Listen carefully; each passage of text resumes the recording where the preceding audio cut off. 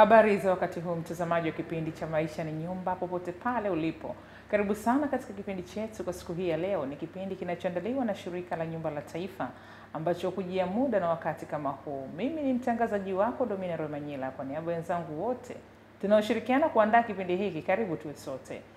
Kama ilivyoada, kipindi chetu huwa tunakuwa na mgeni studio ambaye tunazungumza naye mawili matatu kuhusiana na masuala mbalimbali ya usuyo utekelezaji katika sekta ya ujenzi, sekta ya nyumba pia. Lakini leo studioni tumemwalika mhandisi Haikameni Mlekio ambaye yeye ni mkurugenzi wa ujenzi kutoka Shirika la Nyumba la Taifa. Karibu sana katika kipindi chetu, na kwa kuanza kipindi hiki moja kwa moja, utueleze idara yako ya ujenzi inahusika na nini ndani ya Shirika la Nyumba la Taifa? Asante sana ndugu mtangazaji, kama ulivyosema, mi naitwa Haikamen William Lekio, ni mkurugenzi wa ujenzi pamoja na shughuli za kihandisi wa Shirika la Nyumba la Taifa. Kitengo changu kina kazi kuu mbili. Ya kwanza ni kutekeleza lengo la kwanza la shirika ambalo ni ujenzi wa nyumba elfu thelathini ifikapo eh, mwaka elfu mbili na ishirini na nne. Hili lengo ambalo tumejiwekea katika mpango wetu mkakati, lazima tujenge nyumba 30 kwa ajili ya Watanzania. Pili, kitengo changu kinasimamia kampuni ili niweze kujenga hizo nyumba 30. Tunazo kampuni nne ambazo kitengo changu kinakisimamia, zinasimamia hizo kampuni ili tuweze kutekeleza hizo nyumba. Tunazo kampuni nne, nazo ni ya kwanza ni kampuni ya ujenzi. Hii kampuni imesajiliwa na CRB kama daraja la kwanza. Pili, tuna kampuni ya umeme nayo imesajiliwa na CRB kama daraja la kwanza. Tatu, tuna kampuni ya mambo tunasema plumbing nayo imesajiliwa na CRB daraja la pili, na ya nne kwa ajili ya kufanya vif, vi, vi, fire fireworks, mambo ya firefighting nayo imesajiliwa na CRB katika daraja la pili, na mwishoni ya tano tunayo kampuni ya Civil Works nayo iko daraja la nne. Kwa kifupi, ndio kazi za idara yangu, ndugu mtangazaji. Umetuambia mpaka ifikapo mwaka elfu mbili ishirini ishirini na nne moja ya lengo la Shirika la Nyumba la Taifa ni kujenga nyumba zipatazo elfu thelathini. Idara yako ya ujenzi inahusika zaidi na jukumu hili.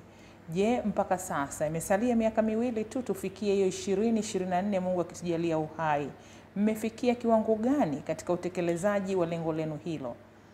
E, katika hizo nyumba elfu thelathini idara yangu ime imepangiwa kujenga nyumba elfu kumi na mbili kwa sababu elfu thelathini ni shirika zima, ambapo sasa katika zile nyumba thelathini kuna nyumba za kiwango kipato cha juu na kipato cha kati na kipato cha chini. Sasa sisi ambazo tunasema ni affordable.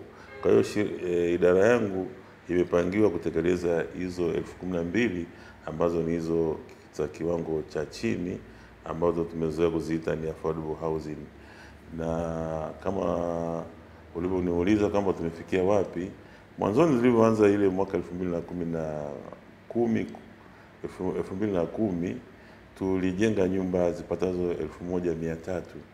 Na sasa eh, hapo katikati tulikuwa na na na tume slow down ujenzi wa nyumba za affordable na sasa tumeanza upya. Kwa mfano sasa kule Dodoma utakuta tunajenga nyumba mia nne na nne katika muda mfupi ambazo tumeanza mwaka jana eh, Desemba na na Januari mwaka huu.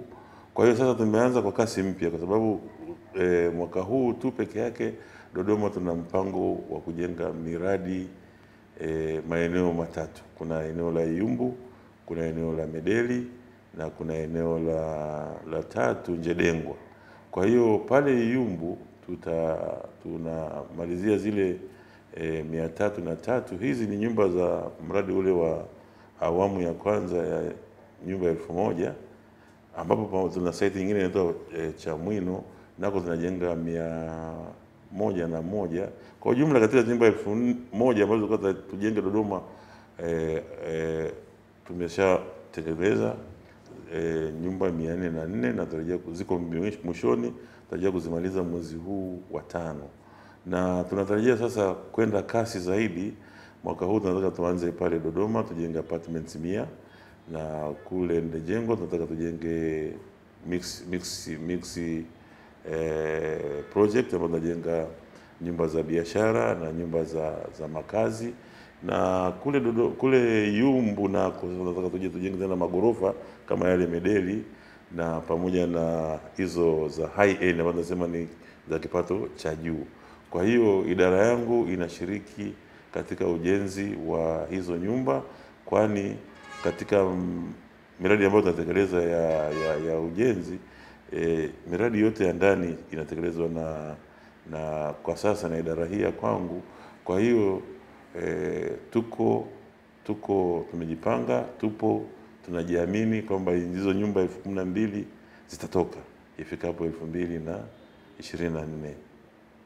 Tunaona nyumba hizi za mradi wa nyumba elfu moja Iyumbu na Chamwino, lakini taarifa njema umetupa hapa kwamba kuna maeneo mengine ikiwemo Ndejengwa kule Dodoma ambalo mtakwenda kujenga pia nyumba nyingine na majengo mengine Medeli. Tofauti itakuwaje? Tutarajie ni haya tunayoona hapa Iyumbu au tunaona Chamwino yatakwenda kuwa ni yale yale ambayo mtaenda kujenga katika maeneo haya mengine ama kuna utofauti? Sasa hivi ndugu mtangazaji, tena sasa nyumba za za chini za single stories tutapumzika sasa, tutajenga tutakuwa tunaenda juu hewani kwa ajili sasa, ardhi ya Dodoma ina thamani kubwa sana. Kama tutaendelea kujenga kwa kusambaa chini, maana yake tuna ule uthamani wa ile ardhi utakuwa una unapotea. Kwa hiyo ili kueconomize ile ardhi tabii sasa tuweze kwenda juu. Kwa hiyo kiwango cha chini ambacho tunaendelea kujenga Dodoma sasa hivi, miradi tutakayoianza ni kama ni improved ya Chamwino au improved ya ya pale Medeli. Magorofa yetu unajua pale yote yana vyumba vitatu na nyumba hizi za nyumba vitatu. Kwa hiyo tuta improve ile design ili ku, ku, kuongeza thamani yale majengo, sasa tuweze kwenda kuyajenga eh, Dodoma na sehemu nyingi za nchi hii yetu ambapo tutaenda kutekeleza miradi kuanzia eh, hivi sasa tutakuwa tunajenga vitu vya namna hiyo, ndugu mtangazaji. Idara yako inaonekana sasa imejipanga na inataka kuja kivingine zaidi, lakini ni nini hasa sababu ambazo zimewapelekea idara yako ya ujenzi na uhandisi kubadilisha mwelekeo? Awali tunaona hapa Iyumbu mlikuwa mkijenga nyumba za chini, sasa unatuambia katika awamu zinazokuja mnakwenda kujenga nyumba za magorofa. Kuna baadhi ya watu ambao walitamani labda wangepata katika maeneo hayo nyumba za chini. Ni kwa sababu zipi ambazo zimepelekea sasa idara ya ujenzi na uhandisi shirika la nyumba la taifa likaona ni vema kujenga nyumba za ghorofa? Kwanza sasa hivi ndugu mtangazaji, kwa mfano eh, hii ni kutokana na matakwa ya watu wengi. Watu walio wengi wanapenda ma, magorofa. Kwa mfano ukichukua nyumba hizo zilizojengwa pale pale Chamwino au tulizojenga pale Medeli, watu wengi sana wanaulizia kununua zile nyumba za Medeli ambazo ni magorofa. Kwa hiyo ukichukua idadi ya watu ambao wanaulizia nyumba za magorofa na idadi ya watu wanaoulizia nyumba za kwenda chini e, utaona watu wanaokwenda wanaopenda nyumba za kwenda juu ni wengi. Nadhani shauri ya imekaa zaidi kiusalama. Watu wengi wanapenda kukaa nyumba ambazo zimekaa pamoja, ambao e, usalama wake ni mkubwa sana kushinda nyumba zikiwa zimesambaa. Watu labda wanakuwa na wasiwasi labda e, ulinzi wake unakuwa mdogo, lakini nyumba za magorofa kwa kule Dodoma naona zinapendwa sana na watu walio wengi, hasa ukienda kwa mfano Chamwino. Chamwino pale hatuuzi, lakini utaona watu wengi wanapenda kuzinunua, au kwa sababu tumesema tunapangisha, lakini idadi ya watu ambao wameleta maombi ni kubwa sana, zaidi ya mara tatu mara nne ya zile nyumba ambazo tulizonazo pale. Kwa hiyo e, inaelekea Watanzania walio wengi hasa watu waliokaa Dodoma pale wanapenda magorofa. Mtazamaji, tunazungumza hapa studio na mhandisi Haikameni Mlikio, mkurugenzi wa idara ya ujenzi na uhandisi kutoka shirika la nyumba la taifa. Tutarejea baada ya mapumziko mafupi. Tazama, upo kwenye lango la urithi wa dunia na hifadhi za kimataifa. Panda mlima Meru na jionee mandhari ya kuvutia na maporomoko ya Tululusia. Safiri nasi mpaka katikati ya jiji la kitalii. Hii ni Arusha. Hapa nakutana na mradi wa kisasa uliopangiliwa vizuri. Ni Safari City Arusha. NHC inaendelea na punguzo kubwa lao la asilimia 40 kwenye bei ya viwanja inavyouza kwa matumizi mbalimbali mbali. Mradi wa Safari City ulio karibu kabisa na uwanja wa ndege wa Arusha na unaopitiwa na barabara ya kimataifa ya Afrika Mashariki umesheheni huduma zote muhimu. Usichelewe, miliki kiwanja chako sasa kwa kulipia kidogo kidogo kwa muda wa miaka mitatu hadi mitano kwa angalau shilingi laki moja na elfu thelathini kila mwezi. Usikubali kupitwa. Kwa maelezo zaidi, wasiliana nasi kupitia simu namba 0758 22 32 40, barua pepe sales at nhc.co.tz, tovuti au kupitia mitandao ya kijamii au fika katika ofisi za NHC zilizoko karibu nawe. NHC tunajenga taifa letu. Naam, mtazamaji, tunaendelea na kipindi chetu. Kipindi hiki kinaandaliwa na shirika la Nyumba la Taifa, na leo basi tunazungumza na mhandisi wa idara ya ujenzi kutoka shirika la Nyumba la Taifa, mhandisi Haikameni Mlekio. Tunaangalia masuala ya ujenzi ndani ya shirika la nyumba.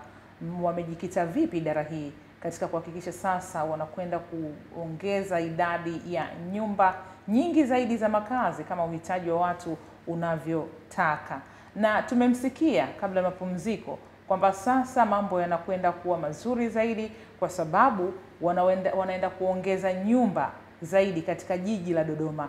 Lakini Mlekio, nimeona katika mazungumzo yako umejikita sana kwamba sasa Dodoma mnakwenda kujenga nyumba nyingi zaidi. Kwa nini ni Dodoma ikiwa wapo wengine wanahitaji Igunga, Geita, wapi huko? Asante sana ndugu mtangazaji, e, kwamba sio tume e, tunajenga nchi nzima, lakini ikumbuke sasa serikali iliamua kuhamia Dodoma 2016 Septemba. Marais wetu alitangaza wakati huo tutahamia Dodoma, na pindi alipotangaza ile serikali e, ikiwa chombo chake cha kujenga nyumba e, kwa Watanzania ni shirika la nyumba la Tanzania, tukawa tunawiwa lazima tuende tukaisapoti serikali kule Dodoma kwa kuwajengea nyumba za makazi, na tulianza hivyo mwaka 2016 Novemba, tulianza kujenga zile nyumba mia tatu pale Yumbu kwa ajili ya kuisapoti serikali. Wafanyakazi wametoka Dar es Salaam, wametoka kwenda Dodoma, na kule Dodoma wakati huo nyumba za makazi zilikuwa ni haba sana. Kwa hiyo tuko bega na bega kwa serikali kuhakikisha kwamba e, wananchi ambao wafanyakazi ambao wamehamia Dodoma watakuwa na makazi bora kwa ajili ya kufanya kazi e, zilizo bora kwa ajili ya ustawi wa nchi yetu ya Tanzania. Kama hivyo ndivyo, je, mpaka sasa mmefikia kiwango gani katika kutimiza lengo lenu hilo mlilojiwekea baada ya serikali kuhamia Dodoma? Tume lile lengo tulikuwa tume kwanza tulisema tukajenge nyumba mia tatu kwa ajili ya kusapoti um, wafanyakazi wenzetu ambao walihamia kule Dodoma, lakini serikali ikaona zile hazitoshi, ndio wakaweza sasa kutupa tena fedha. Walitupa fedha kwa sababu zile za kwanza tulitumia fedha zetu za ndani, lakini baadaye serikali ikaona hapana, tuwape National Housing bilioni ishirini watujengee hizo nyumba elfu moja kwa awamu tofauti tofauti, ambapo sasa zile hela ambazo walitupa bilioni ishirini zinajenga nyumba mia nne ambazo tumeanza nazo katika ile mradi wa nyumba elfu moja. Na tunaendelea na ujenzi na ujenzi, na hata tulipofika kule Dodoma sasa serikali ikaona tena ina, ina, tunaweza kuwajengea nyumba za ofisi, kwa sababu na serikali nayo wizara zilikuwa hazina nyumba, na sisi tulishiriki katika ujenzi wa zile e, nyumba za serikali awamu ya kwanza ambazo zilikuwa wanasema ni temporary buildings. Inaonekana bado uhitaji ni mkubwa sana, na bado ninyi idara mna lengo la kuhakikisha kwamba mnatimiza ile haja ya kupatikana nyumba nyingi za makazi katika jiji la Dodoma. Idara yako imejipanga vipi kuhakikisha sasa kwamba ule muda mliojiwekea mnakwenda kukamilisha miradi hii kwa wakati, kwa sababu bado kuna watumishi wanatafuta nyumba kwa kiasi kikubwa pale Dodoma? Sisi kama idara tumejipanga kuhakikisha kwamba kila mradi ambao tunaopewa tunaufanya kwa kadiri inavyo muda unaostahili, na ili tuweze kufanya hivyo, huwa tunatengeneza mkakati ambao huwa tunafanya kazi usiku na mchana. Hiyo ni katika utendaji wa kule site, kwamba lazima ili uweze kutekeleza ile mradi kwa wakati, lazima uweze kufanya eh, kazi usiku na mchana. Kwa hiyo tunakuwa na shift ya mchana na tunakuwa na shift ya, ya, ya usiku, na sisi wafanyakazi siku hizi tunaofanya kazi kule Dodoma, usingizi tumeshasahau. Sisi kazi yetu ni kuchapa kazi tu usiku na mchana. Saa zote ukija utakuta tunamwaga zege, tunajenga matofali, tunamwagia maji, kazi inaendelea. Lakini tunapanga kitu kuti, e, yale manunuzi inaitwa e, procurement schedule. Ni kwamba kwa sababu kule Dodoma sasa e, kutokana na ujenzi unaoendelea kule ni mkubwa sana na vifaa vile havitoshi, hasa kwa mfano kokoto, kwa mfano mchanga, kwa mfano matofali havitoshi. Tunahakikisha kwamba vile vitu vinaombwa kwa wakati ili vipatikane kwa wakati ili tuweze kwenda kule kufanya ile kazi inahitajika. Na tulivyoona kwa mfano kule Dodoma, sasa uhaba wa matofali ni mkubwa sana, tumeamua kujipanga, tunafatua safari zetu wenyewe, tukaona kwamba mambo ya ya zege nayo ni shida. Kwa hiyo tumejipanga kuanzia mitambo yetu ya kuchakata kokoto na mchanga na tuchanganye zege letu kwa wenyewe, kwa sababu bila hivyo uhitaji wa vifaa vya ujenzi Dodoma ni mkubwa sana, lakini upatikanaji wake ni mchache. Haya uliyoyasema yanaonyesha kwamba anaweza akaleta neema kwa baadhi ya watumishi wa serikali, lakini pia hata watu wengine mbalimbali ambao wanahitaji nyumba za makazi katika jiji la Dodoma kwa sasa. Mikakati hii ambayo umetutajia mlionayo ninyi idara ya ujenzi na uhandisi NHC, ni kwa vipi sasa itakwenda ku- kumaliza kiu ya uhitaji wa nyumba katika jiji la Dodoma? E, sisi ukumbuke kwamba tunafanya kazi e, ya wizi ujenzi na vilevile tunayo e, ilani ya uchaguzi ambayo inatuongoza kwamba ifikapo elfu mbili na ishirini na tano e, serikali iwe imeshajenga nyumba elfu hamsini.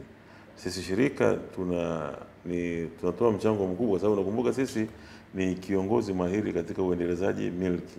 Kwa hiyo kwa kuwa kiongozi mahiri, lazima sisi tufanye kazi sana, lazima tuwe wabunifu kupata eh, namna gani ya kuwajengea eh, wafanyakazi wenzetu nyumba pamoja na wananchi wa Dodoma nyumba ili kufikia hilo lengo ambalo tumewekewa na eh, kwenye kwenye ilani ya chama na kuhakikisha kwamba kwa kushirikiana na wenzetu, kwa sababu kule kuna waendelezaji wenzetu kina TBA, watumishi housing na watu binafsi, tukichanganya tukifanya kama teamwork eh, lengo la, la Chama cha Mapinduzi la kupata nyumba elfu hamsini ifikapo elfu mbili na ishirini na tano tutakuwa tumefanikiwa na wananchi wake watakuwa wameridhika na walioahidiwa na chama tawala.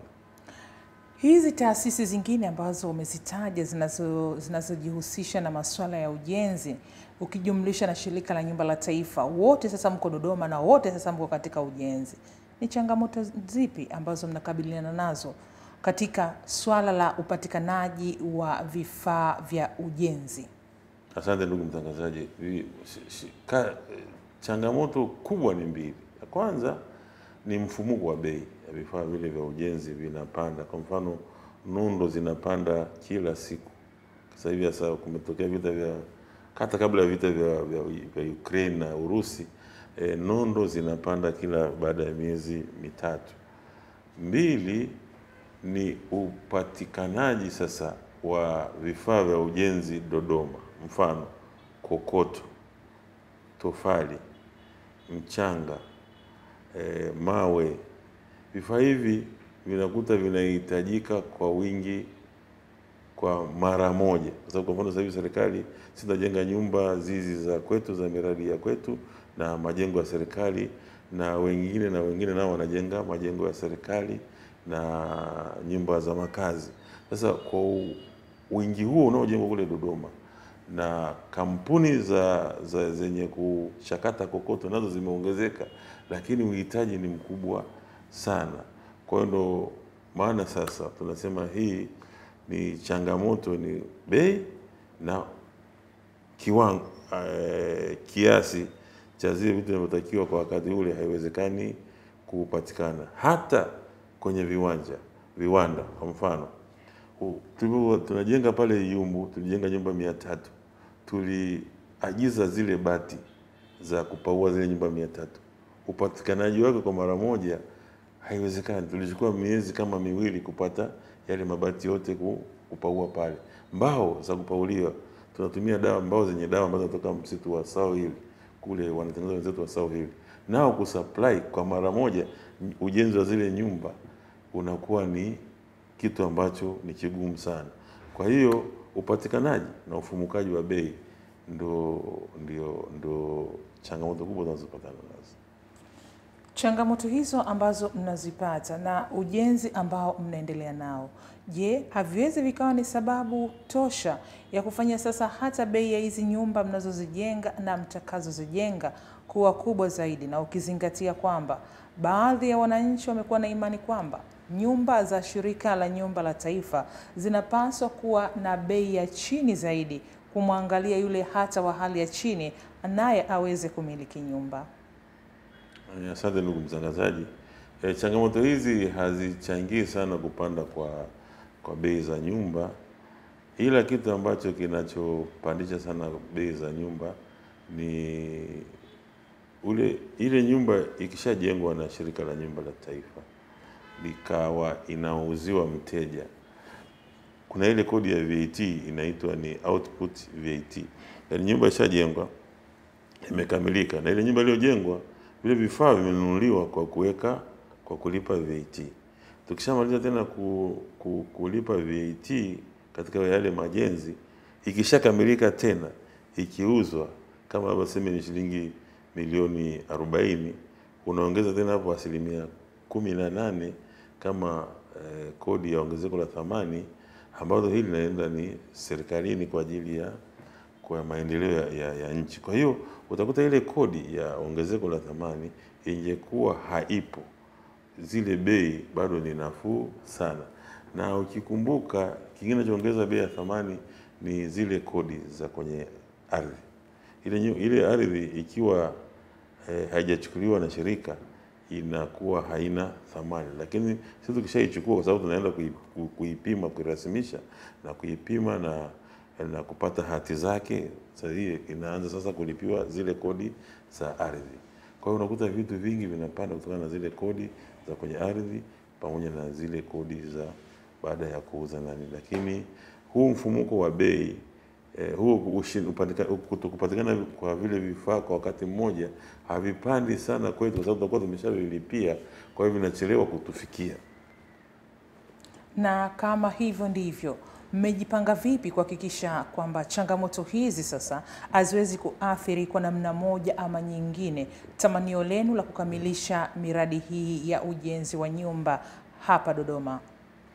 Eh, tunachofanya ni kwamba tunafanya eh, mm, tunawasiliana, tunakaa na vikao na wale wazalishaji, tunawaelezea ni nini mahitaji yetu na ni nini tunavihitaji lini na bei iliyopo sasa hivi, ili tusipandishiwe tunafanyaje?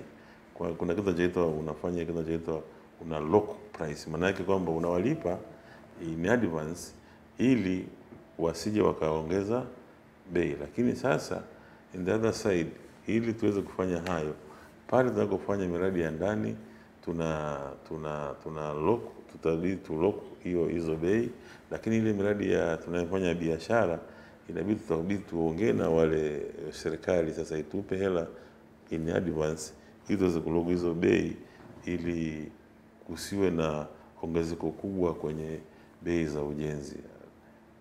Umetutajia baadhi ya taasisi ambazo nazo zinajenga majengo mbalimbali katika jiji la Dodoma. Shirika la Nyumba la Taifa ni mkandarasi namba moja. Je, kuna changamoto yoyote ambayo mnakabiliana nayo kwa sababu sasa kila mmoja iko kule na kila mmoja iko katika ujenzi na kila mmoja anataka kukamilisha ujenzi wake kwa wakati? Of course changamoto iliyopo kubwa mbele ya, ya washitiri wetu ni pale wanapokuwa wana wanalinganisha, yaani Kwa mfano, shirika la nyumba linamjengea eh, nyumba labda ofisi labda wizara ya ardhi, na hapo pembeni labda anajenga kampuni labda ya China CRJE au pale anajenga TBA au pale anajenga watumishi. Sasa watu wangetamani waone kwamba eh, shirika la nyumba sababu lenyewe ni kubwa, sisi tunajua tuna mtaji mkubwa wa tri- trilioni tano, watarajia kwamba sisi tunge wa, tungekwenda haraka zaidi ya wale watu wa pale, lakini tukasema hapana, sisi tunahangaika na kupambana na huu mfumuko wa bei ili tupate vifaa vyetu kwa pamoja.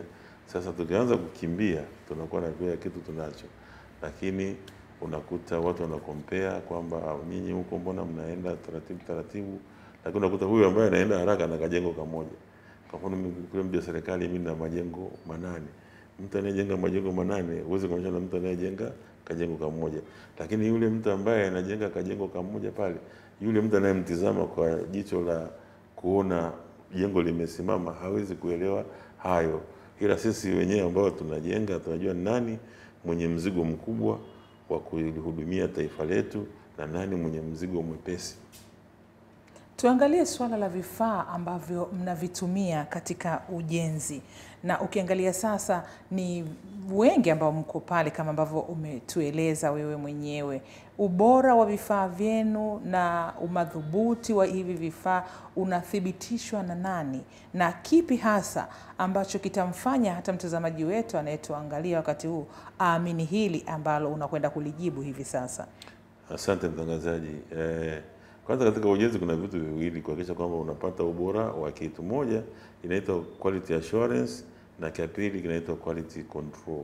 Quality assurance ni mbinu za mimi sasa mjenzi National Housing nifanyeje nipate kuhakikisha kwamba hichi kitu unachoenda kumjengea huyu mlaji kina kiwango, na cha pili ni quality control. Sasa hivyo vitu sasa vinaenda sasa kwenye maabara kutestiwa. Kwa mfano, tunanunua nondo kutoka Kamali Steel, nondo kwenye kiwanda cha Kamali Steel, anatupa matokeo ya ile nondo ambayo anasema, utasikia kwenye redio anatangaza eh, BS 500.